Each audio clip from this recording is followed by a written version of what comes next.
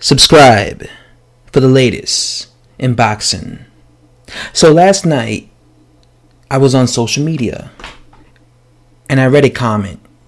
I read a comment that read that Tyson Fury might just be the best heavyweight of this current generation of heavyweights. And when I first read that comment, I must admit, I chuckled at it. I found it quite funny. I thought to myself, yeah, right.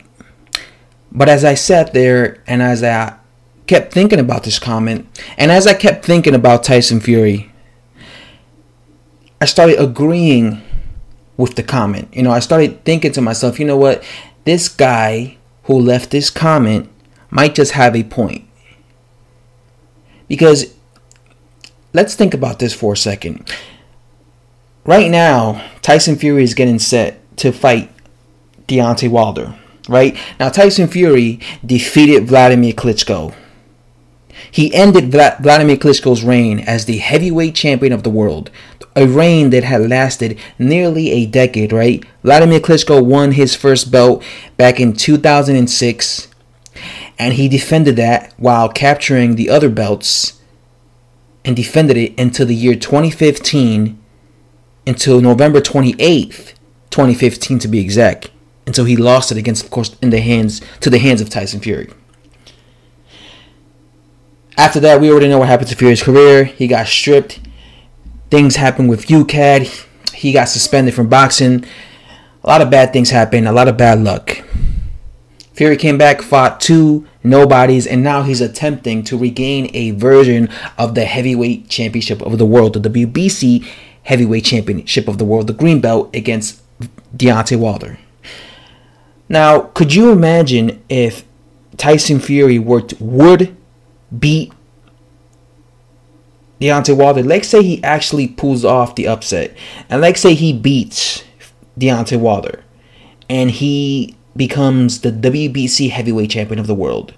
In my opinion, that is some superhuman shit because it is it, it's very impressive. It would be very impressive for Tyson Fury if he's able to beat Deontay Wilder and regain the WBC heavyweight championship of the world considering the fact that he had, he had been abusing his body, he had been taking a massive layoff. That to me would be very impressive if, he, if he's able to go in here and beat Deontay Wilder. I would be looking at that like, wow. Took this massive layoff after fighting Klitschko, came back to be an active heavyweight in Deontay Wilder, and now he's a champion again. And then, let's say he fights Anthony Joshua. And imagine he beats Anthony Joshua. Well, now he is the undisputed heavyweight champion of the world. So imagine that. Imagine Tyson Fury beats Deontay Wilder, and then within a year, he fights Anthony Joshua to unify, and he beats him. Now, Tyson Fury would have had victories over Vladimir Klitschko, who at the time was the best heavyweight in the planet when he fought him. He would have wins over Deontay Wilder, who was considered the best American heavyweight, and he would have wins over Anthony Joshua, who is considered the best British fighter and the best heavyweight currently at this very moment as I'm making this video. Um, after and he would and he would have done this after taking a three year layoff. That to me if he's able to do that, if Tyson Fury is able to do that, then yes, I probably would be agreeing with this comment and saying that Tyson Fury is definitely the best heavyweight or the greatest heavyweight of this generation. Now, do I think it's going to happen? Do I think Tyson Fury is going to be able to beat Deontay Wilder or Anthony Joshua? Knowing yes. Knowing the fact that if he if he fights him right now, I don't think he's properly prepared. I think he'll make it a little trick for Wilder. I think he'll be able to win some rounds, but I think because he's still rusty, Wilder will be able to eventually land his right hand and stop him. The same thing went for Anthony Joshua. I think he would have his best chances in beating both of these guys if he gives himself the proper time uh, to get himself in the best physical shape in the best type of basically boxing shape, fighting shape that he could possibly get into. give it another 10 to 12 months. Then yes, he might have be able to do it.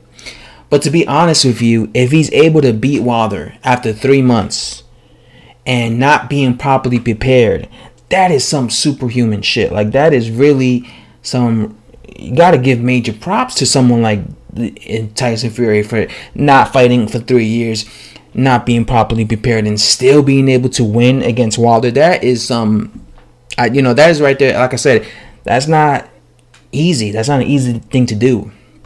And then, like I said, I would be agreeing with this comment if Mr. Fury manages to do this. If he manages to beat Anthony Joshua and Deontay Wilder, then Tyson Fury might just, and I mean he might just be the best and the greatest heavyweight of this current generation, of these current crops of generation of generation, you know? So again, that's you know, that's just that's, that's a big if and that's very far fetched. And I don't think it's likely he'll be able to do this because many fighters of the past who took layoffs came back and eventually lost.